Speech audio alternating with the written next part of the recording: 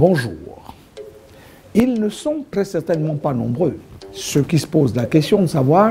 quelle atmosphère a prévalu en fin d'année scolaire au cours de laquelle certains observateurs avertis ont vu planer le spectre d'une année blanche, la plupart ne se contentant que d'attendre les résultats du baccalauréat, du BEPC et du CEP. Et pourtant, la presse nationale a fait chou gras des menaces qui pesaient sur l'organisation de ces examens présentant les mobiles du état de fait, surtout revendications de certains syndicats de l'éducation nationale qui conditionnaient la présence de leurs adhérents à la satisfaction de celle-ci. Un discours que la tutelle, ministère de l'Éducation nationale et de l'enseignement supérieur n'a pas négligé, loin s'en faut,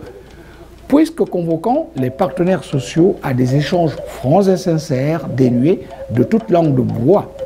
dans le noble souci et but de sauver l'école gabonaise et de satisfaire au-delà de toute considération les parents d'élèves qu'ils sont eux aussi. Aujourd'hui, peut-on dire,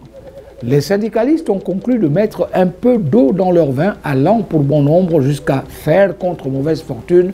bon cœur. N'est-ce pas un exemple de patriotisme qui mérite d'être salué par la communauté nationale, à qui l'acte devrait rappeler les accords passés entre le pouvoir et l'opposition gabonaise au plus fort des années de braise ayant suivi la tenue de la conférence nationale de 1990.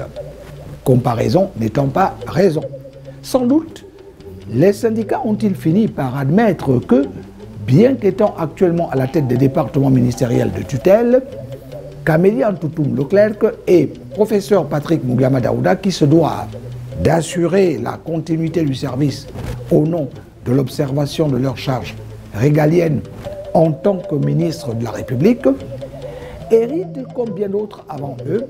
d'un lourd passif qui ne saurait être réglé d'un coup de baguette magique. L'école gabonaise pourrait en effet être comparée à quelques exceptions près à la CNSS et à la CNAMGS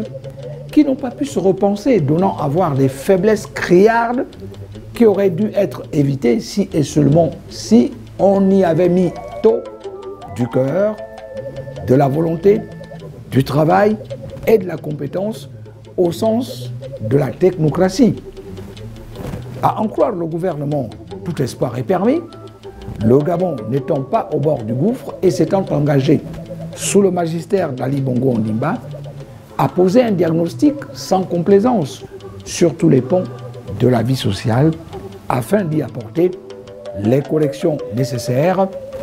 susceptibles d'amener tout un chacun se convaincre